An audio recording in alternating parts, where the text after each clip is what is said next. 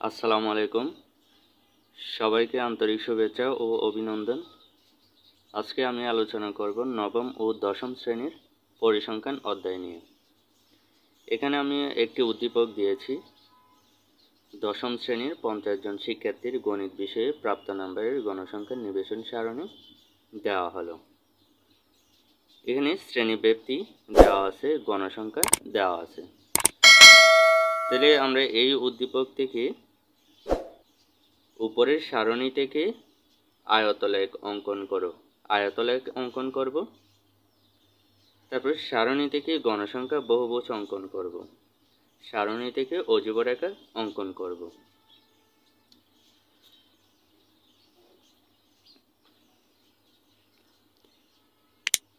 এখানে আয়তলেখ, গণসংখ্যা, বহুভুজ অজীব রেখা অঙ্কনের জন্য খুবই গুরুত্বপূর্ণ একটা জিনিস। আয়তলেখ অঙ্কনের জন্য প্রয়োজন শ্রেণি ব্যক্তি অবিচ্ছিন্ন শ্রেণীসীমা গণসংখ্যা।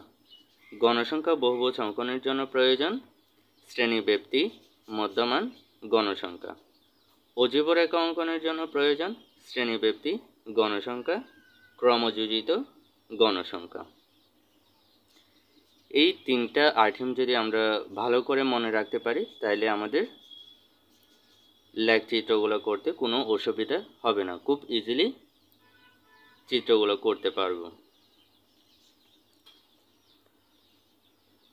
প্রথমে আয়তলেখ অঙ্কনের সারণী। আয়তলেখটা করে দেখাবো। এখানে শ্রেণীব্যাপ্তি অবশ্যই উদ্দীপকের মধ্যেই দেওয়া আছে। শ্রেণীব্যাপ্তি, তারপরে গণসংখ্যা। এগুলো কিন্তু উদ্দীপকের মধ্যে দেওয়া আছে। উদ্দীপক থেকে হুবহু দেখে দেখে তুলে দিব। তারপরে মাঝখানে হচ্ছে অবিচ্ছিন্ন শ্রেণীসীমা অবিচ্ছিন্ন শ্রেণীসীমা এটা আমাদের বের করতে হবে এই শ্রেণি ব্যক্তি থেকে।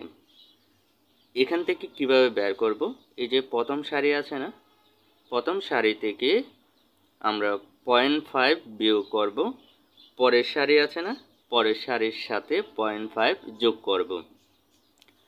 আমরা চাইলে পয়েন্ট ফাইভ যোগ বিয়োগ করতে পারি, অথবা ওয়ান যোগ বিয়োগ করতে পারি, কোনো অসুবিধা হবে না। তাহলে আমি এখানে পয়েন্ট ফাইভ যোগ বিয়োগ করেছি। একত্রিশ থেকে যদি আমরা পয়েন্ট ফাইভ বিয়োগ করি, তাহলে তিরিশ দশমিক পাঁচ। চল্লিশের সাথে আমরা পয়েন্ট ফাইভ যদি যোগ করি, তাহলে চল্লিশ দশমিক পাঁচ। ঠিক আছে? তারপরে একচল্লিশ থেকে যখন আমরা পয়েন্ট ফাইভ বিয়োগ করব, তখন চল্লিশ দশমিক পাঁচ হবে। পঞ্চাশের সাথে পয়েন্ট ফাইভ যখন যোগ করব, পঞ্চাশ দশমিক পাঁচ হবে। তার মানে এটা কেন বের করতে হচ্ছে? এই যে কোনা কোনা মিলে যাচ্ছে না, এটার সাথে এটা মিলে যাচ্ছে, এটার সাথে এটা মিলে যাচ্ছে, এটার সাথে এটা মিলে যাচ্ছে। ঠিক আছে? প্রত্যেকটার মধ্যে কিন্তু মিলে যাচ্ছে।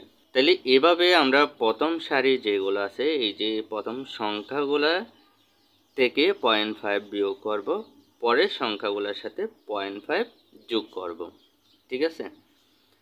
এরপরে এখন এটার থেকে, এটা করার পরে এটার থেকে আমরা আয়তল লেখটা কীভাবে করব? হুম। তাহলে আয়তলেখ অঙ্কনের জন্য একটা গ্রাফ নিব। গ্রাফ নেওয়ার পরে গ্রাফকে আমরা এক অক্ষ ওয়াই অক্ষ এঁকে ফেলব। এই যে এখান থেকে এক অক্ষ এঁকে ফেললাম স্কেল দিয়ে, আর এখান থেকে ওয়াই অক্ষ এঁকে ফেললাম। ঠিক আছে? তাহলে X X prime Y Y prime তারপর ও হচ্ছে মূলবিন্দু ঠিক আছে? তারপরে এটা প্রথম গড়টা আমরা ভেঙে দিব, ভাঙা চিহ্ন। এটার নাম হচ্ছে ভাঙা চিহ্ন। তারপরে এটা আমরা লিখব তিরিশ দশমিক পাঁচ। এই যে এখানে অবিচ্ছিন্ন শ্রেণীসীমাগুলো আছে না, অবিচ্ছিন্ন শ্রেণীসীমাগুলো নিচের দিকে লিখব। এই যে এখানে তিরিশ দশমিক পাঁচ চল্লিশ দশমিক পাঁচ। এখান থেকে শুরু করে আমরা এ পাশ থেকে শুরু করে এই নিচের দিকে চলে আসব। এখান থেকে শুরু করে নিচের দিকে। ঠিক আছে? তাহলে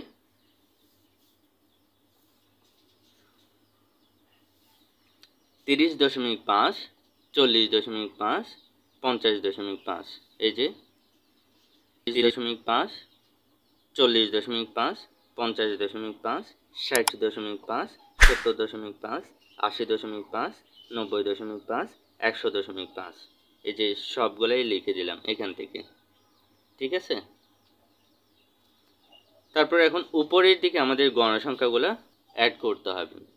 তাহলে গণসংখ্যা এখানে কত আছে সেটা দেখি। ছয়, আট, দশ, বারো, পাঁচ, সাত, দুই। তাহলে সবচেয়ে বড় গণসংখ্যা হচ্ছে বারো। তাহলে আমাদের তেমন একটা বেশি না, ঘর। তাহলে এখানে আমরা পাঁচ থেকে শুরু করব। পাঁচ, দশ, পনেরো। ঠিক আছে? তাহলে এদিকে হচ্ছে গণসংখ্যা। এখানে আমরা তিরিশ থেকে চল্লিশ। দেখো, তিরিশ থেকে চল্লিশ, তিরিশ থেকে চল্লিশের মধ্যে ছয় পর্যন্ত উঠতে হবে। তাহলে তিরিশ থেকে চল্লিশের মধ্যে তিরিশ থেকে চল্লিশ, এই যে পাঁচ আছে না? পাঁচ এখানে। তার মানে এই ছয়, এক গড় উপরে, ছয়। ছয়ের এখানে যাব। তাহলে এখান থেকে এখানে একটা পোটা দিয়ে দিব, দাগ দিয়ে দিব স্কেল দিয়ে। তারপর চল্লিশ দশমিক পাঁচ থেকে পঞ্চাশ দশমিক পাঁচ, এটা হচ্ছে আট গড়। তাহলে চল্লিশ দশমিক পাঁচ থেকে পঞ্চাশ দশমিক পাঁচ, আট গড় বলতে এই দশ এখানে না, দশ এখানে, তাহলে দুই গড় নিচে, আট গড়। তারপরে হচ্ছে পঞ্চাশ থেকে ষাট। পঞ্চাশ থেকে ষাট, এটা হচ্ছে দশ। দশ গড়ের মধ্যে, তাহলে পঞ্চাশ থেকে ষাট, এই দশ বরাবর, এই যে এখানে টেনে দেব। তারপর ষাট থেকে সত্তর। ষাট থেকে সত্তর, বারো, দশের দুই গড় উপরে। তারপর হচ্ছে সত্তর থেকে আশি, পাঁচ। তাহলে সত্তর থেকে আশি, পাঁচের মধ্যে, এই যে সত্তর থেকে আশি, এই যে পাঁচ বরাবর আছে না, পাঁচ বরাবর, এই যে এখান থেকে এখানে দাগ দিয়ে দেব। তারপর আশি থেকে নব্বই, এটা হচ্ছে সাত। তাহলে আশি থেকে নব্বই, সাত। পাঁচের দুই গড় উপরে। তারপর নব্বই থেকে একশো। নব্বই দশমিক পাঁচ থেকে একশো দশমিক পাঁচ, এটা হচ্ছে দুই গড়। তাহলে এক, দুই দুই গড় উপরে। তাহলে এখানে আয়তলা একটা কিন্তু আঁকা হয়ে গেল। নিচে আমরা কি হিসাব করলাম? অবিচ্ছিন্ন শ্রেণীসীমা এই যে অবিচ্ছিন্ন শ্রেণীসীমাগুলো লিখছি না, অবিচ্ছিন্ন শ্রেণীসীমা এখানে লিখে দেব। তারপরে এদিকে হচ্ছে গণসংখ্যা গণসংখ্যা এদিকে লিখে দেব। তারপরে উপরে আয়তলে আঁকছে না এটা আয়তলে একটা লিখে দেব। তো এটাকে আমরা কালো করে দিতে পারি। এই যে আমি একটা গড় কালো করে দেখাচ্ছি। একটা গড় কালো করে দেখাচ্ছি। সবগুলাই কিন্তু কালো করে দিতে পারব, কোনো অসুবিধা হবে না।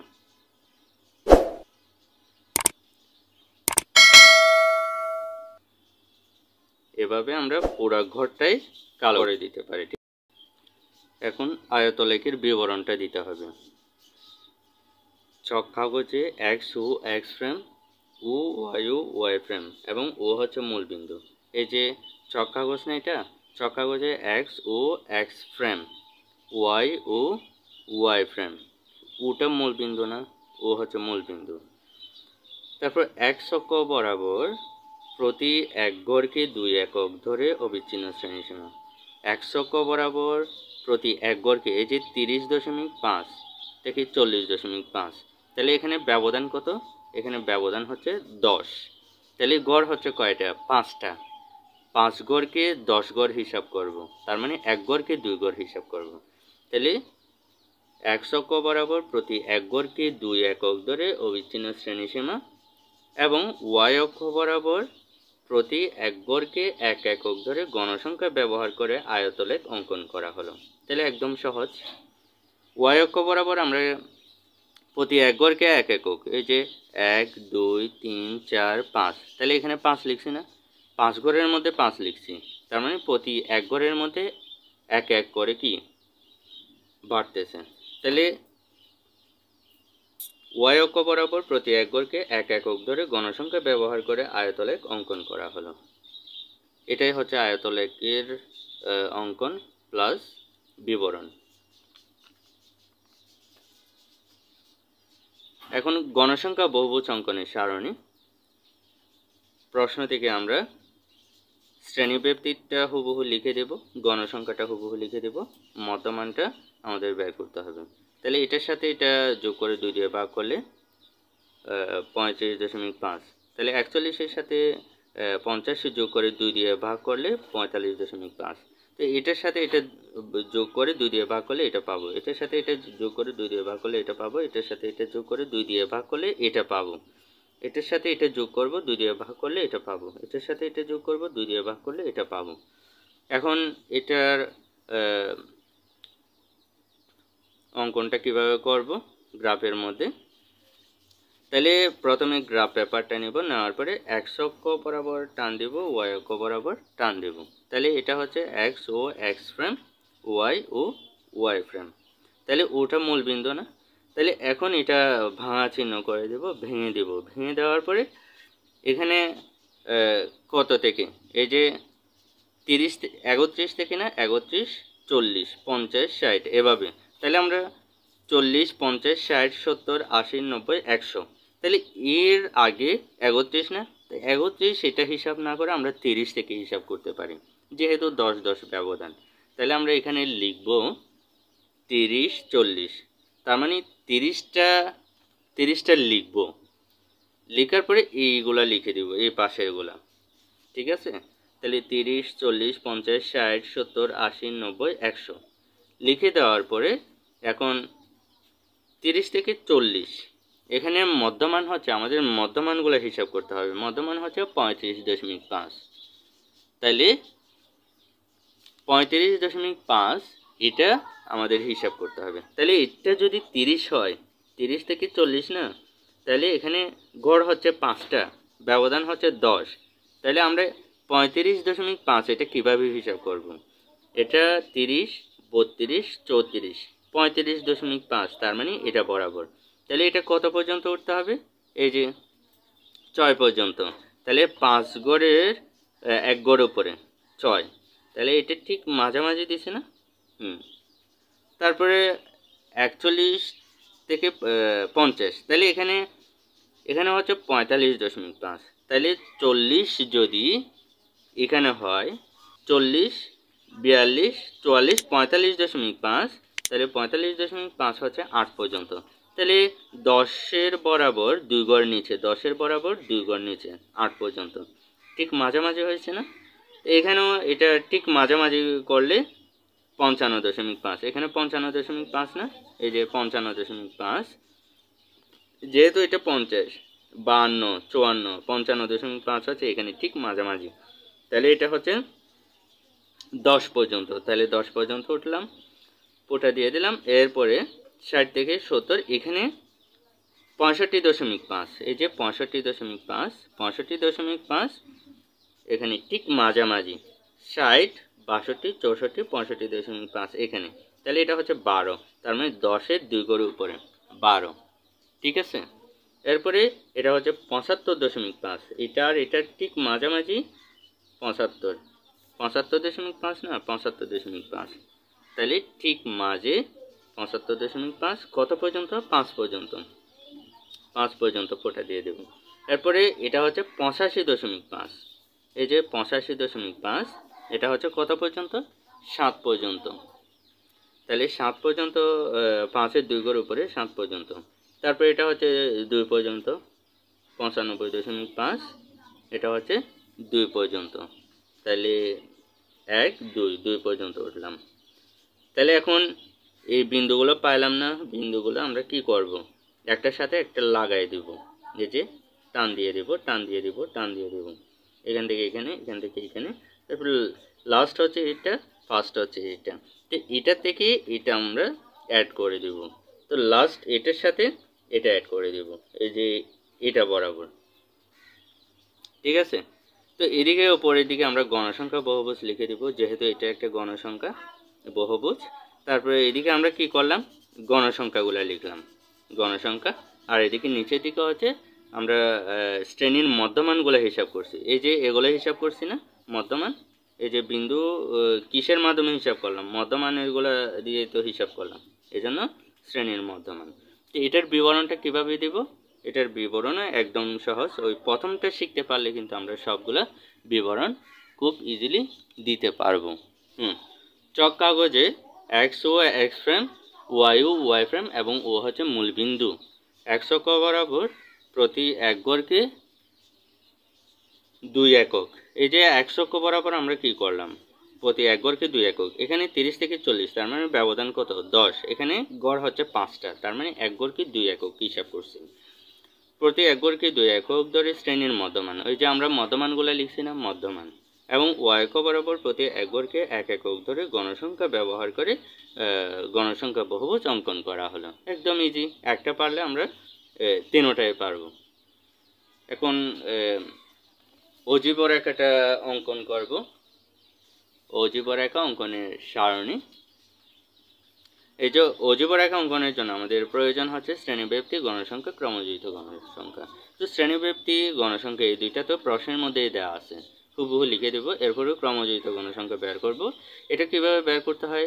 এই যে প্রথম সংখ্যা লিখব, লিখার পরে এটার সাথে এটা যোগ করব, চোদ্দ। এটার সাথে এটা যোগ করব, চব্বিশ। এটার সাথে এটা যোগ করব চৌত্রিশ। এটার সাথে এটা যোগ করব একচল্লিশ। এটার সাথে এটা যোগ করব আটচল্লিশ। এটার সাথে এটা যোগ করব পঞ্চাশ। তাহলে ক্রমযুক্ত গণসংখ্যা কিন্তু হয়ে গেল। এখন এটা দিয়ে আমাদের করতে হবে অজীবরেখা অঙ্কন। তাহলে অজীবরেখা কীভাবে অঙ্কন করবে? এখানে আমরা সেমভাবে তিরিশ থেকে হিসাব করব। তিরিশ, চল্লিশ, পঞ্চাশ, ষাট, সত্তর, আশি, নব্বই, একশো। এটা কীভাবে এই যে চল্লিশ, পঞ্চাশ, ষাট, সত্তর, আশি, নব্বই, একশো। এখানে যেহেতু সবগুলাই সেম এর আগেরটাও আমরা কত নেব? তিরিশ নিয়ে নেব। তাহলে তিরিশ থেকে একশো পর্যন্ত সুন্দর করে লিখে দিলাম। তারপরে এখানে আমাদের ক্রমযোজিত গণসংখ্যাগুলো হিসাব করতে হবে। তাহলে ক্রমযোজিত গণসংখ্যা উপরের দিকে যাবে। এখানে ক্রমযোজিত গণসংখ্যা সবচেয়ে বড় হচ্ছে পঞ্চাশ।